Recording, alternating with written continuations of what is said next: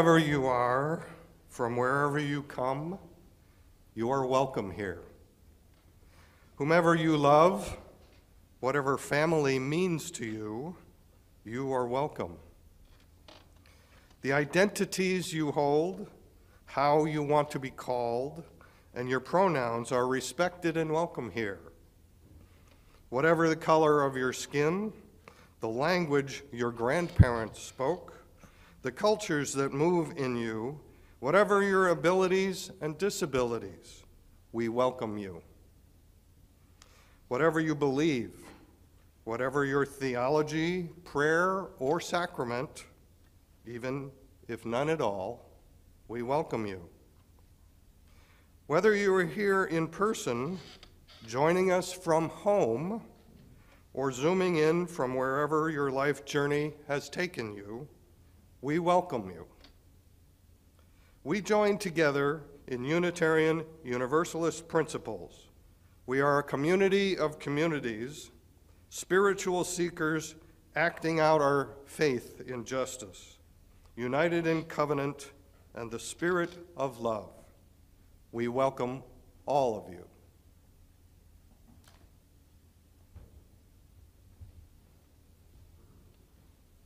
Good morning. Welcome to Unitarian Universalist Church West on this glorious, uh, sort of wintry, sort of springy ish day. This morning, we are going to be reflecting deeply on our human relationship to nature, how and even whether we truly believe that any ecosystem has a right, a legal right, to exist, flourish, regenerate its vital cycles without human caused destruction. So, in that light, as we gather here and online, let us acknowledge who and where we are on this abundant land and all of its beings to whom we are meaningfully related, past and present. We do so because it is important to understand the long standing history that has brought us to, the, to reside here and to seek to understand our place within that history. We reside within the traditional territories of the native peoples of the Seven Councils tribe, Ho-Chunk, Kickapoo, Potawatomi, Menominee, Peoria, and Miami nations. This recognition does not exist in the past tense or historical context. Colonialism and white supremacy are a current, ongoing process against indigenous, black, and people of color, and we know this. So here at UUCW, we commit ourselves to becoming an anti racist faith community dedicated to equity, racial justice, and right relations. Our spiritual wholeness and the building of beloved community are joined to our actions that accountably dismantle racism and other oppressions. My name is Lynn Capitan, and I'm a member of your Board of Trustees. The pronouns I use are she and her. I have a bad cold this morning, and so does Eddee. so we're wearing masks and we're going to try to uh, not falter in our ability to project this morning. Uh, little grandchildren can do this to you. If you are a visitor, you, I, we hope that you feel welcome here. If you would like to connect or ask a question, talk to me after the service or send an email to visitor at uucw.org. You can connect with us by using the welcome form uh, that you found in your uh, order of service when you came in. The other side of that yellow form is a place where you can share your personal joys and sorrows. You can place that form, whether to connect or to share, in the offering baskets or later, uh, later on, or uh, in the box at the side table. There's also a QR code uh, on your order of service to share something electronically. Note that the community room is available if you need to step out. There's a TV there that's set up to view and hear the service. There's also an activity uh, table over there for anyone who feels a little restless or even creative. All, all ages are welcome in the sanctuary. Now, there's a lot of announcements in your order of service, and they're all important, but I'd like to highlight a couple, uh, draw your attention to. First, for those of you who are members of UUCW, please expect a phone call this week from a member of the Board of Trustees. Yes, we are reaching out to every member to invite your nominations of people you think should be on the team that will give us the greatest possible success in the search for our new settled minister in the coming year. Or don't wait for the call and send in your nomination today. The link is uh, in last week's e news, I believe. And speaking of nominations, please visit the nominating committee table after service to find out more about how you can help us support the church through service on the board and nom- uh, nominating committees and endowment committees. All questions are welcome, so please stop by. And finally, we are getting close to the end of our annual pledge drive, but we still need about half of our members to make the pledge and send it in. I hate to say this, including me and Eddee. We've talked about it, but we haven't done it. It's very easy to forget, so please don't forget. In fact, we can make it easy. Why not take your phone out right now?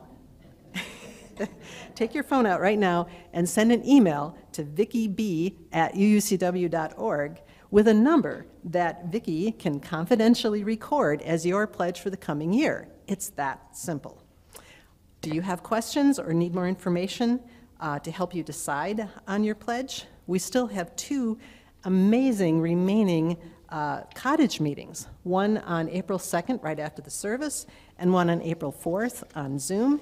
And th- these meetings have been really great. Everyone who's attended has told us how great they are. They're fun and lively and informative sessions that um, give you an opportunity to see how each of us fits into the bigger picture of creating a sustainable UUCW. So please don't miss these meetings. Um, and please know that we appreciate all your gifts, not solely your pledge, but your time, energy, and presence here in our community. It really is a privilege to gather together and to attend to the things that matter in life. You all are welcome here.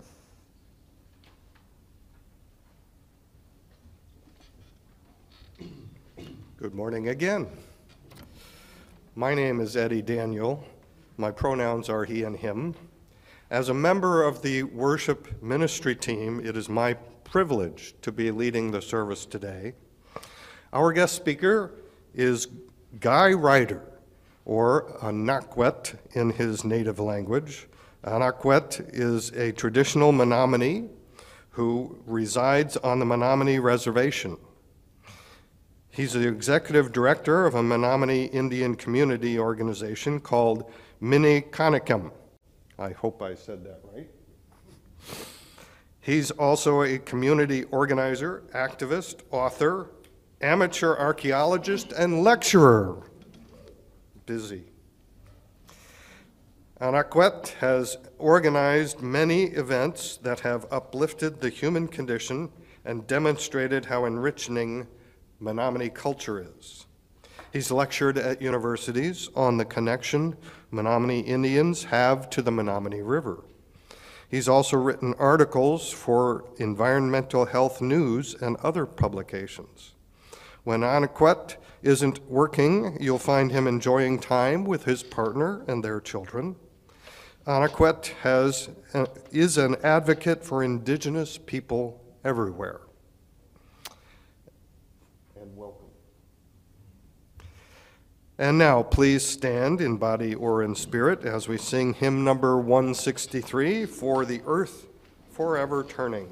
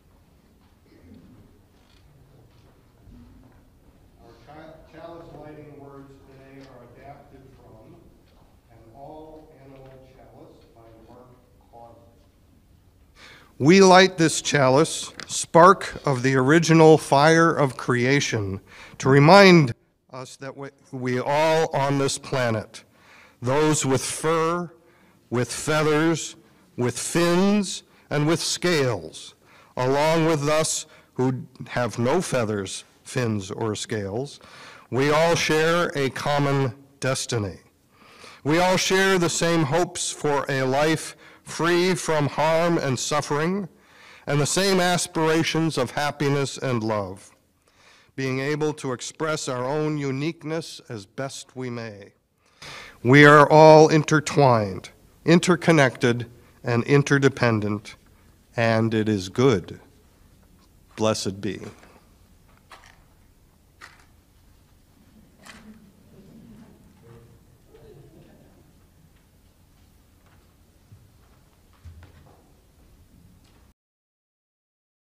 I hope you've all been enjoying the love letters to UUCW that we've been hearing for the past few weeks. We have two more to share with you this morning.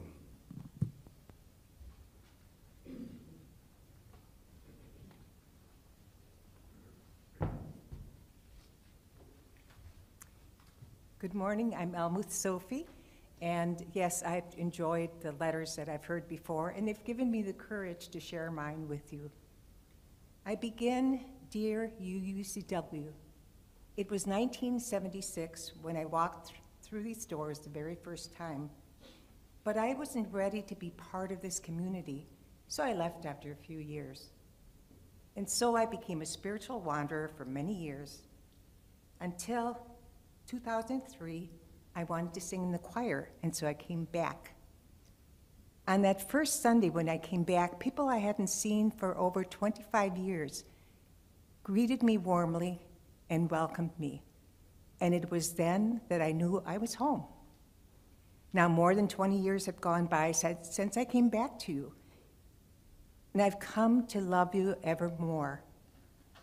Any faults you may have, are far outweighed by your love, your resilience, and your strength.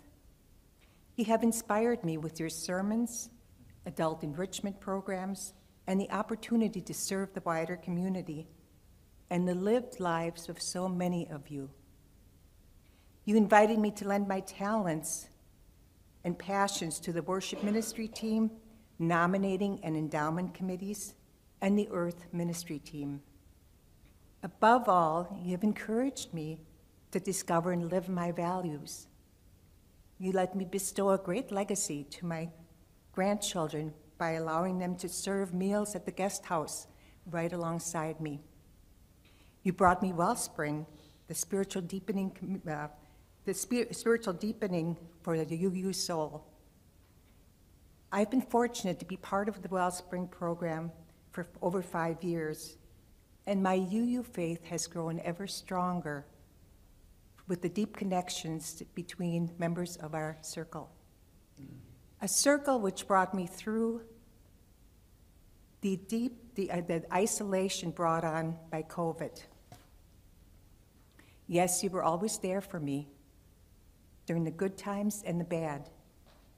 My open heart surgery, blood cancer, and my grief after the death of a loved one required medical treatment and the passing of time to heal. But it was through your support, thoughts and prayers, cards, visits, and yes, delicious meals, that I survived and thrived. I'm so grateful for all the people who came before me and who are here right now, all who make it possible to be in this community together. And I want others to have that same opportunity to give and receive, to learn and to grow. Yet I know that without the space to house our congregation, our loving community would wither and die. As in all the previous years, you have asked, now are asking me to make a financial pledge. So our wonderful staff can be adequately compensated. We can provide programs for all the people for all ages and keep our lights on. And yes, fix the roof on our house of worship.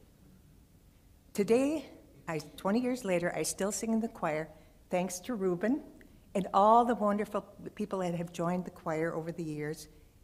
and we all make the commitment to show up and do our best.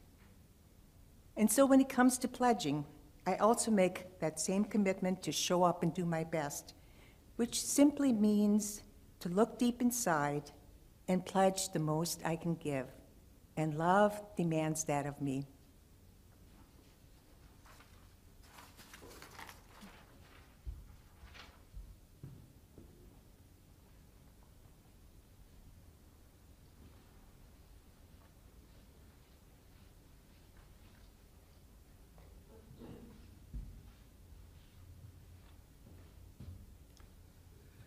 Good morning. I am Kathy White. My pronouns are she and her.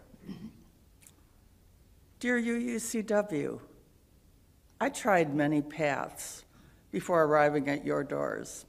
Although mostly Catholic, I've also been Episcopalian, Methodist, Unity Church, Wiccan, and New Age. When I walked through these doors, I felt tired of searching and curious about the UU way. you welcomed me and invited me to keep coming back. So I have. Uh, it wasn't long before I took the introductory classes and signed the book. I was drawn to unity circles and adult education classes. By joining committees, I began to understand what community and friendship felt like. Being gay felt normal here, and my life partner and I basked in the acceptance and genuine harmony of this community. My time in Soul Matters, Wellspring, lay pastoral care, choir, nominating committee, and greeters, to name some, has given me a strong connection to many of you. I've loved coming to Sunday services, listening to beautiful music and inspiring sermons.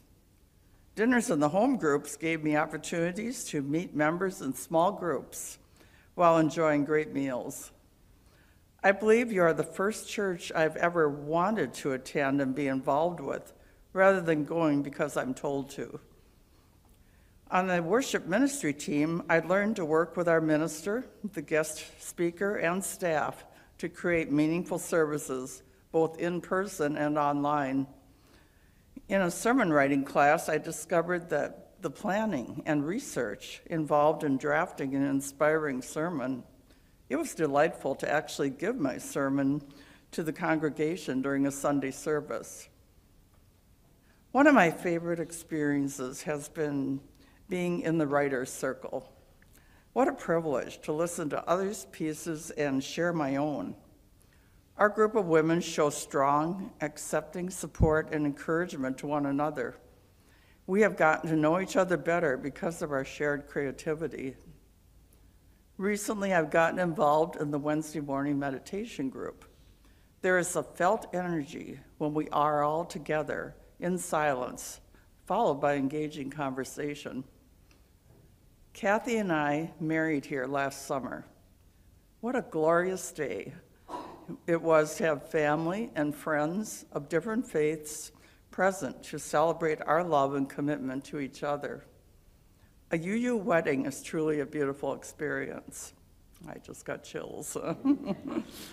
we shared our ceremony for you online because you all have given us the courage to be ourselves and live authentically. When I think about what you mean to me, I feel so grateful to be in such a loving, vibrant community.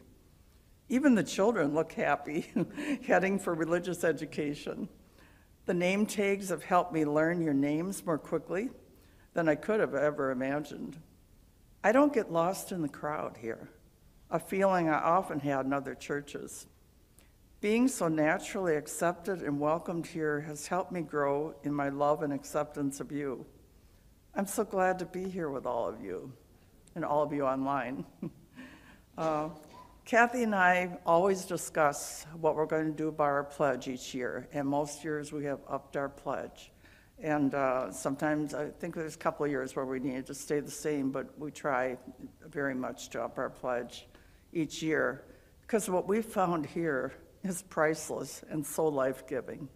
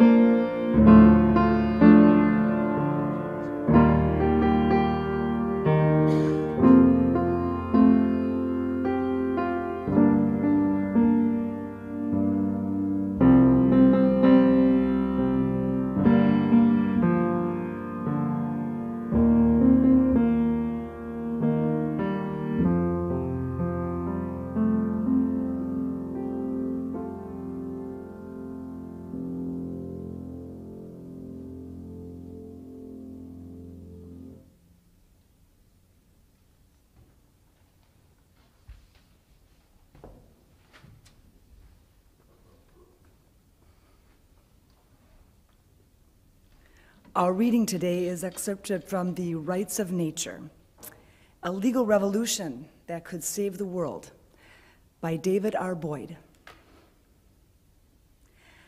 Humans today have a deeply troubled relationship with other animals and species and with the ecosystems upon which all life on Earth depends. We purport to love animals, but regularly inflict pain and suffering upon them. Scientists are in agreement that human actions are causing the sixth mass extinction in the 4.5 billion year history of the planet. Humans are damaging, destroying, or eliminating entire ecosystems, including native forests, grasslands, coral reefs, and wetlands. Ancient, complex, and vital planetary systems, the climate, water, and nitrogen cycles are being disrupted by our actions. Our ongoing use and misuse of other animals, species, and nature is rooted in three entrenched and related ideas. The first is anthropocentrism, the widespread human belief that we are separate from and superior to the rest of the natural world.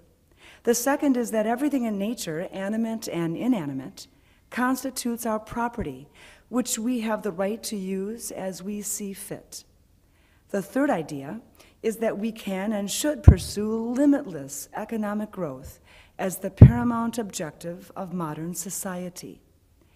Anthropocentrism and property rights provide the foundations of contemporary industrial society, underpinning everything from law and economics to education and religion.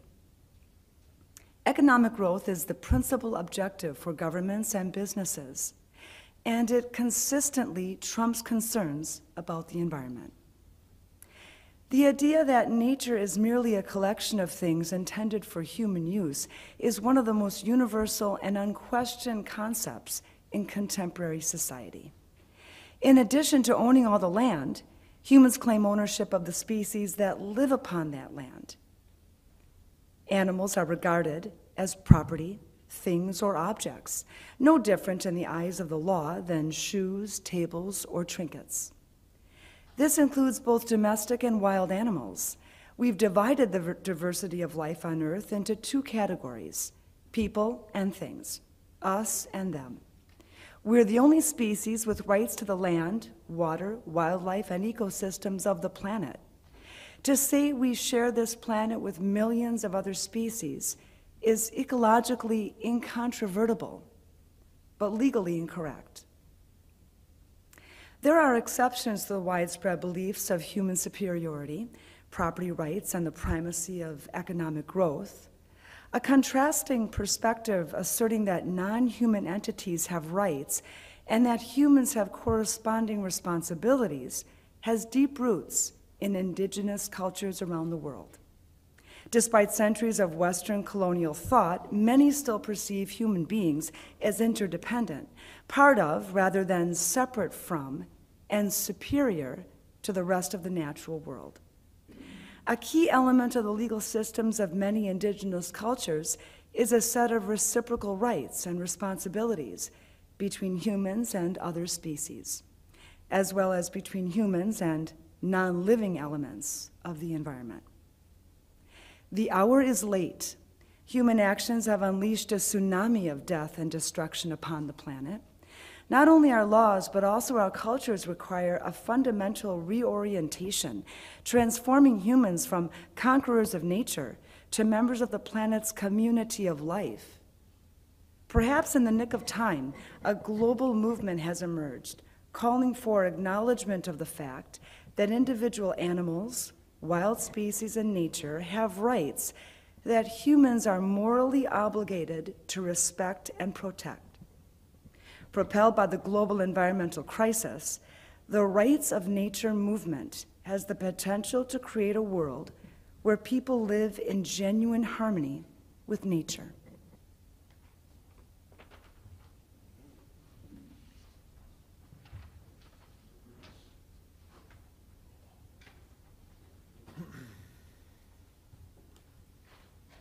보소.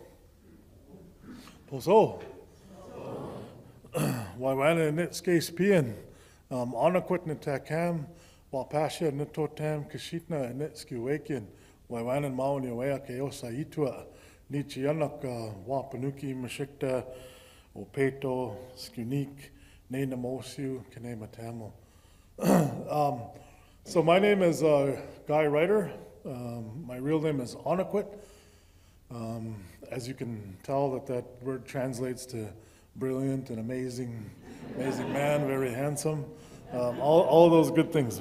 But I think if you were to ask anybody else and possibly look it up, it might say cloudy skies, but that's not the way I translate it. Um, my uh, my name was um, given to me by my grandfather many, many, many years ago when I was young. Well, it seems many now um, that I've kind of gotten a little bit older and longer in the tooth. Um, but uh, I'm the executive director, like was said, of an organization called Menikahnaehkem, located on our Menominee Indian Reservation. Um, we have about 80 acres there. Uh, we we have uh, buffalo um, that we've just reintroduced back to our land.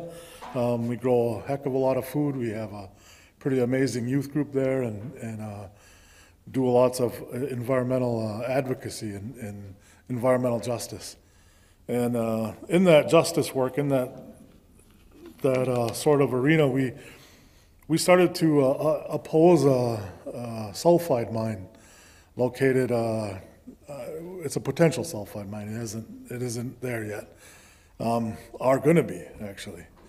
Uh, It's on the Menominee uh, River, which is our home river as Menominees. That's where we come from as a people, that's where our oral history says that we came out of the earth there. Um, Some of you may or may not know that we are the longest living inhabitants, you know, of this place they call Wisconsin. We've been here longer than all other tribes. Um, But this particular, particular project uh, called the Back 40 Mine has been in the process for a long time. Uh, We've been in the fight for probably about, think, 12 to 15 years of it, but it's been longer. Um, It still hasn't gone on, and, and we've defended our land, and, and other organizations have, have uh, stepped in and helped, and, and it's been, an, it's been a long thing, long battle, but uh, there are some light at the end of that tunnel, hopefully. Um, and I, and I wanted to uh, just take a moment, you know, as as we uh, kind of get into this rights of nature, um, to really, really try to come into the room this morning, you know, to to try to be present here in this time. You know, it it was uh, not that it was hard to get up this morning on a Sunday morning to drive three hours to be here in the morning. Uh, I get up pretty early with my, my children, who I had mentioned earlier, their names. Um, but it was such an honor to see that sun come up this morning and I watch it rise above uh, uh, the horizon. And it's been a while since I've been able to see that because uh, I usually taking my kids to school and it's just busy, you know. But at one time in my life, um, that was a very big priority of mine, is to, to be in that time, you know, with that, that beautiful sun and, and uh, appreciate, you know, all that it brings and all that it does. And, and, and uh, being able to witness that this morning was a really good memory. But I, I just want to um, have us think of, of uh, that um, beautiful water, you know, that we have, that all of us depend on, that all of us probably interacted with this morning, whether you were washing your face or brushing your teeth or, or drinking your coffee or whatever it is, you know, that, that we actually absolutely depend on the, the clean water. Um, and that we take the times of our day to, to just thank it, you know, to, to talk about it when you're, when you're using it, to, to let it know how much, how much it matters to you. Um, because like I said, you know, we all depend on it. And, you know, I, I um, want us to think too of, of all those, uh, all those uh, animals out there, all those, uh, in our language, we call them Manatowak and, and that word can also mean like spirits. You know, like we see the essence of those, of those animals, and a lot of us um, at home go by clans, and, and they uh, determine a little bit of like what our responsibilities are and, and how we view things. Um, so if we could, you know, maybe we just take three breaths together you know, here this morning. And, and uh, I would ask that you at least feel um, your clothes on your, on your body. Try to uh, be here in this moment, to be in communion with our beautiful mother who's right underneath us, you know, this earth. And she's never, never far from us, right? She's always lifting us up and holding us up. And that uh, we, we remind ourselves of that beautiful connection with her. That um, a lot of times when people are struggling or having a hard time, it's our beautiful mother that, that uh, takes us in her, her uh, warm embrace, you know, and we all find that comfort along, whether it's a shore of a lake or whether it's in the forest or a mountain or whatever it is. But um, we want to, I want to make sure that we just think of those things, and then I'm going to get into this, I promise. so I want to do just three breaths together. If we can go in our in our nose and, and out our, our mouth, and uh, just try to be present. Ready? In, hold, out. In, hold, out. Last one. In, hold, out. Oh, Waiwanan. Welcome. Hoso. so you kind of heard that in the in the uh, article a little bit about what rights of nature is, and um, you know I could go on and on. It's a big subject, and, and it's still getting um, kind of defined. It's it's an old term, but but new too as well. But uh, uh, the rights of nature um, protects rivers, mountains, ecosystems, and the life uh, life forms that support them uh, by recognizing its legal rights, just as humans and corporations are considered to have rights. Uh, this legal framework grants rights to nature itself. Rights of nature frameworks turn the existing property rights um, based paradigm upside down and offer a powerful basis and strategy to conserve lands and communities. Uh, they also offer a radically different worldview. The rights of uh, the right of nature to exist, persist, flourish, and evolve. Now, doing what I do and being involved in the um, environmentalism, environmental justice. I don't know how many are out there that, that are a part of that, but um, it always seems to be that you're on the defense. You know, you're always reacting to whatever the companies are doing or whatever sometimes the government or the, even the local municipalities are doing.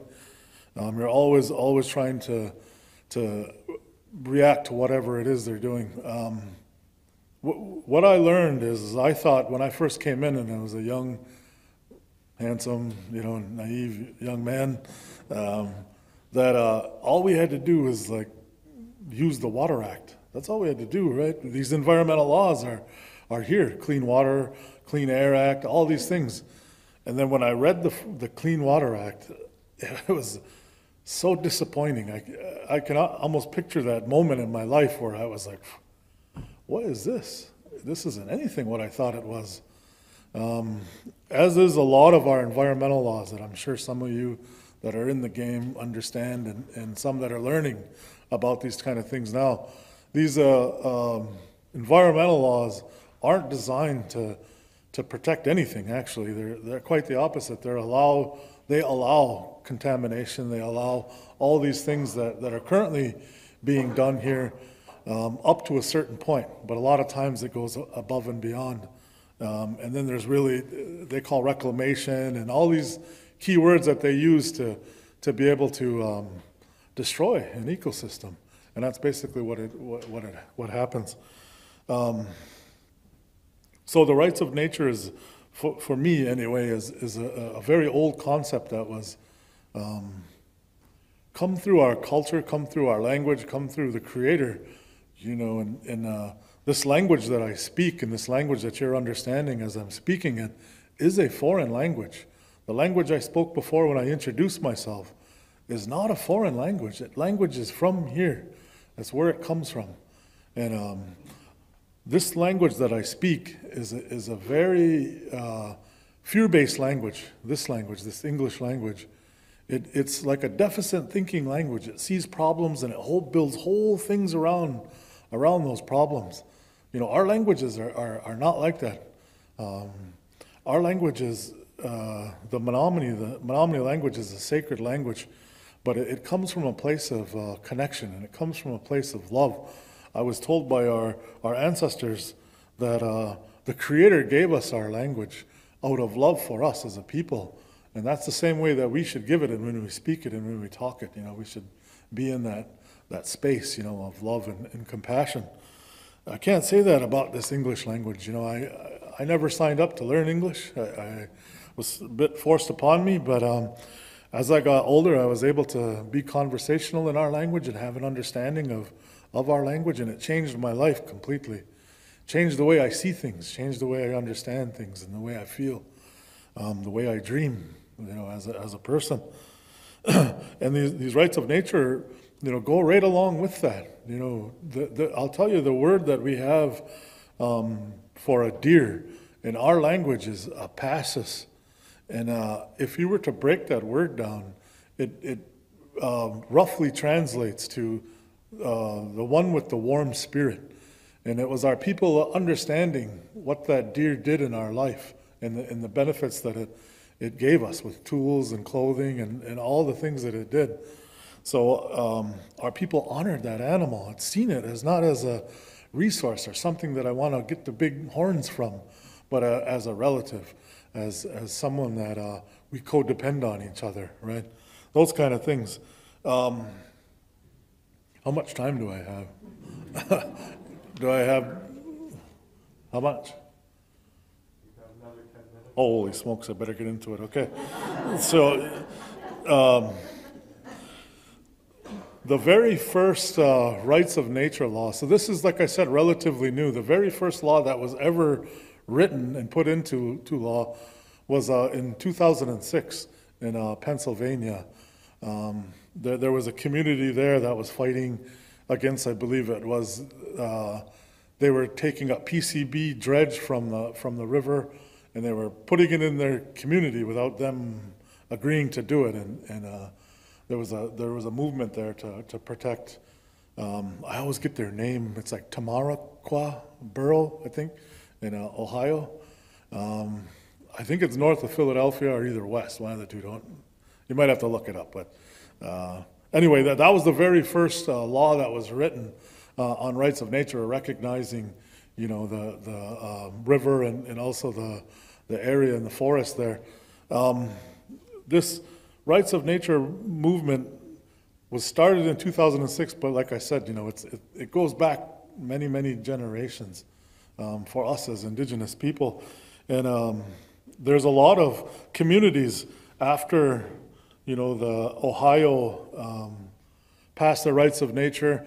There, there's been others, of course, and, and Ecuador was the, the very first country to actually put it into their constitution. And uh, some of the folks that worked in Pennsylvania um, drafting those laws actually went down and, and, worked in Ecuador to be able to help um, those folks put it into their constitution. Um, that happened, you know, in 2008, so two years after that. Um, there's others that I just want to briefly mention. Um, in 2010, Bolivia, you know, put it into their uh, well, they actually created the Universal Declaration of the Rights of Mother Earth. Um, I just want to touch on a few here. So in, in uh, New Zealand in 2014, um, they had the first state constitutional amendment to include the rights of nature. Uh, it was proposed in Colorado, like I said, in the U.S., and uh, right now, there, there's the efforts similar to that are, are being advanced in Ohio, um, Oregon, New Hampshire, and, and, and other states. And I'm hoping at some point we're going to have Wisconsin on that list. Um, I don't know how many of you are familiar with, with the Prove It First law. Have, have ever any of you ever heard that? By show of hands? No? Does anybody remember, uh, you guys are pretty far south, but I, I would imagine you remember the, the Crandon mine fight, the fight against Exxon? So up there in Mole Lake at the headwaters of the Wolf River and, and close to the Menominee Reservation where I'm from, they, uh, uh, the, the group of, of, um, it was a weird time too, because if you remember, it was right after the, like the Chippewa, uh, hunting and fishing rights, and it was real contested up there, and there was definitely a divide within communities. Um, but it seemed like the, the fight against Exxon mine uh, really um, bridged a gap and, and, and brought us together. So there was Indians, non-Indians that came together. There was a whole big movement there. Anyway, long story short, I got 10 minutes, probably less now, but um, they, they created uh, a prove it first law. And uh, basically what the law was, um, was you, if you were going to do any kind of extract, extractive uh, uh, industries when it come in here, like a mine, you had to prove that you operated a mine somewhere else in the country. It couldn't be like a third world country; it had to be a first world um, country, and you had to uh, prove that you, you had a mine there for 10 years, and that after that um, you didn't pollute your environment uh, after that, which is basically a mining moratorium because there's no way they can do that, right? Which is an amazing, amazing thing. It's such a common sense law, it's, it's unbelievable. So, about uh, two or three years ago, there's a gentleman by the name of uh, Tom Tiffany, who's now our Congress uh, senator, um, who we called back in them days and still call him Toxic Tom. Um, I hope he's watching. I, I, I really got a lot of words for that gentleman. But um, he uh, was able to rescind that, that law. And uh, it got repealed, and, and now I think we're like in our second year or third year um, without that law.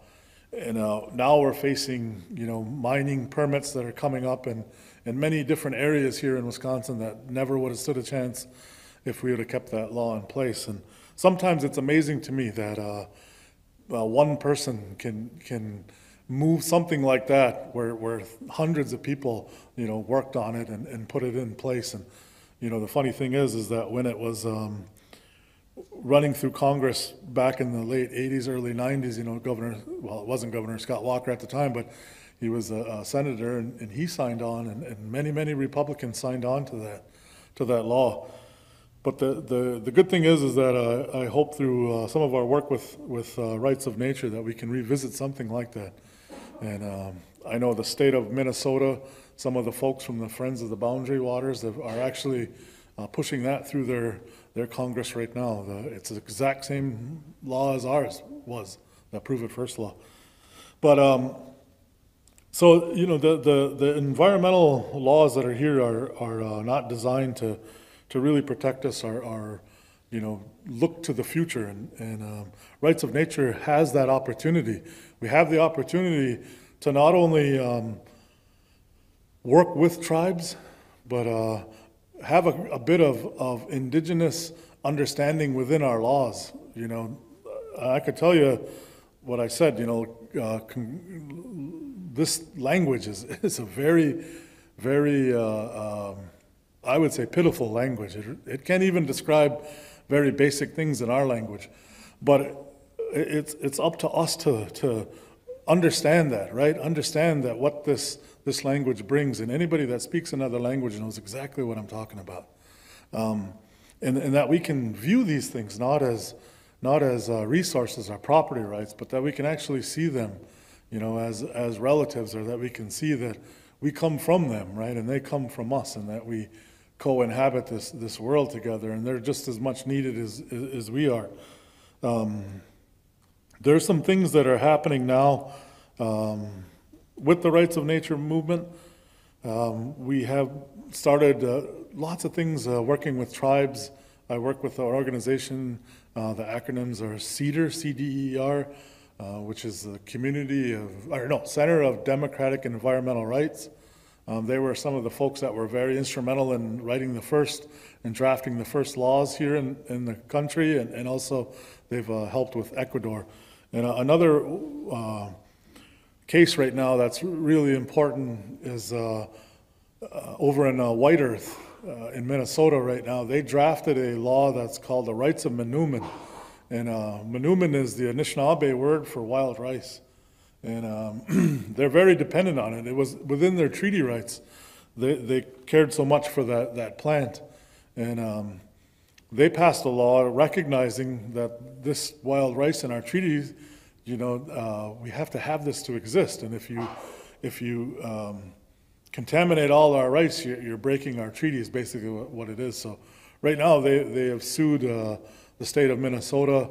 Um, uh, a lot of it is because of um, line three, you know, the, the pipeline that they put in, they, they gave them a permit to, to do all these things and, and uh, they didn't even, you know, ask the tribes or have any consultation in that regard when it came to the rights of manoomin law that the tribe had.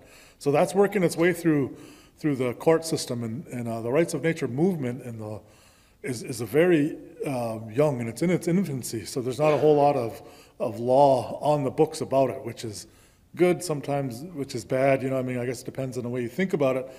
But um, what's, what's exciting about it is the opportunity that it brings. That uh, folks from both sides of the aisle, um, folks from many walks of life, that we could come together um, with nature in mind and, and really draft something that speaks for all of us. And uh, I feel like to me, it's, it's the tribes have uh, have a maybe a bigger stick when it comes to it because they have sovereignty, they have um, treaties that were that were with the government, and I feel like that we could learn a bit from the tribes and work with them and, and, and really really push this uh, this movement forward. Um, and so, just in closing, I, I just wanted to say that uh, um, we also work with a, a group um, called Wisdom, or I do, uh, Wisdom. They're uh, like a, uh, faith-based organizations, and oh, I see a lot of shaking heads, so I'm sure you know who they are. And I know Bob is, is here, and, and uh, I work with him. Um, he developed an amazing website. Uh, right now, we have a group there that's that's been putting some things, but it's still in its infancy, and uh, we're looking to expand as we kind of get get going a little bit more. Um, the the website was what, Bob? Right- Rights of Nature, no punctuation, org. So rightsofnature.wi.org. And it's a fantastic website, and, and Bob did a really good job on it. But if you go to that website, uh, it'll show you kind of like where our meetings are and what we're doing and, and, and where we're at. Um, and it, of course, if you wanted to know more about rights of nature, I mean, it's a, it's kind of self-explanatory in some ways when you think about it. And, uh, but it's more for me, I, I was told something when I first started to, uh, well, here, I'll just leave you with this. Uh, when I first heard of, of this potential back 40 mine on the Menominee River, um, I was, I was just like, man, somebody's got to do something, right?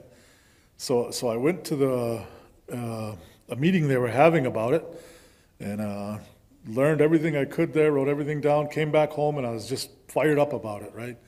And uh, I was talking to our leadership, and actually, I was talking to some of our uh, traditional folks up there on, at home. A lot of them are my relatives. That, and I remember talking to one of my uncles there after a, a ceremony, and I was telling him, you know what? Man, somebody should be writing letters, you know, somebody should be doing these meetings and, and somebody should be putting the word out and somebody should be doing this and somebody should be doing that. And after he let me go on and on, he looked me dead in my eye and he said, Well, you're somebody. and I was like, Shoot, that's right. that's right, I am. I am somebody. So I got to work, right? I didn't really have a plan or, or uh, an idea of like, this is what I want it to look like but I just tried to try to follow my heart, and, and what I felt at that time is just follow the Creator, and it'll lead the lead the path, and it makes me um, think of of us here now in this room together. You know, there's something that brought us all here together right at this moment in time, and uh, that we're we're living in a in a time where it, it seems is pretty chaotic and sometimes can be scary.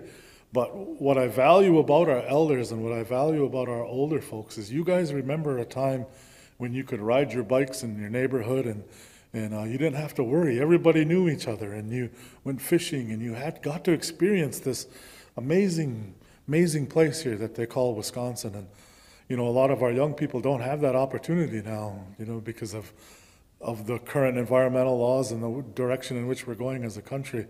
So we definitely need your wisdom. We definitely need your your vision and and uh, you know your strength too. That that's one thing I've. Uh, my grandpa was. I loved him dearly as a World War II vet. He was a tough sob. You know, and a lot of those guys in them days were, you know, because they had to be. And but also they had an extreme appreciation for, uh, for the earth. And, you know, I'm hoping that you guys bring that, you know, to, to some of the, the talks and things we're doing.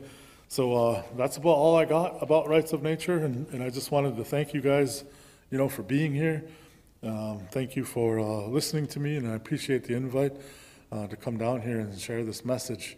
And I hope that uh, I see you guys, you know, in the future when we're looking at Bob's uh, website and, and coming to our meetings or doing whatever it is, you know, we need to do. Because I feel like the only way we're going to get better is if we stand shoulder to shoulder and, and make it better. Ooh.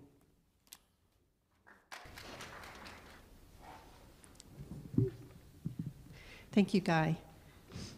Really looking forward to talking to you more after the service in the community room. And of course, uh, you'll probably be mobbed because your message is wonderful and a wonderful way to contemplate today.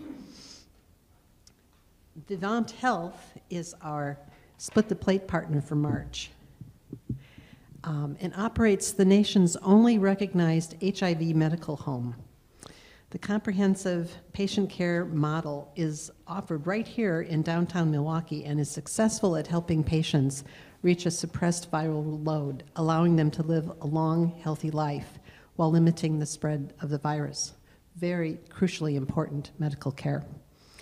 Um, and they have many success stories. And one uh, success story is of a 59 year old, primarily Spanish speaking uh, Hispanic male, who entered the hospital for severe pneumonia. The patient had been HIV positive for a long time, but had, had a negative experience with healthcare settings, which led him to reject care. A Vivent Health linkage to care specialists visited, visited him regularly in the hospital to build rapport in his native language and then witnessed firsthand how poorly he was treated by medical professionals. She advocated strongly for the client. Based on the trust she had built with him, the care specialist was able to get the client to build a similar rapport and trusting relationship with his Vivent uh, Health medical home care team. And now he is HIV undetectable for the first time in his life. Your support of Vivent Healthcare can help create more success stories like this one. Here at UUCW, Split Plate is our way to fulfill our UU values and to reach out to the community. If you are participating virtually, go to our website, uucw.org, click on Donate, and select the Split the Plate from the menu. Or you can text or email your donation today using the information found here. I thank you for your generosity to Vivent Health. We will now gratefully accept your offering.